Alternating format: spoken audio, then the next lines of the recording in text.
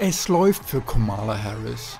Das Wahlkampfteam der voraussichtlichen Präsidentschaftskandidatin der US-Demokraten hat nach eigenen Angaben bereits Spenden in Höhe von 200 Millionen Dollar erhalten.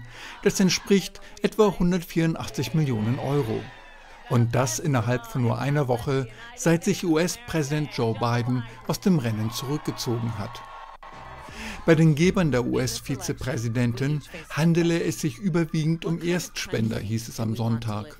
Am selben Tag begann der Endspurt der letzten 100 Tage vor der US-Präsidentschaftswahl im November.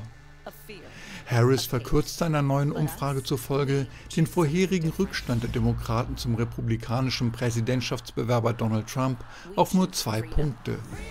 Demzufolge nahm die Unterstützung unter schwarzen Wählern, jungen Menschen und Latinos zu. Die Demokraten wollen bereits Anfang August über Harris Kandidatur abstimmen.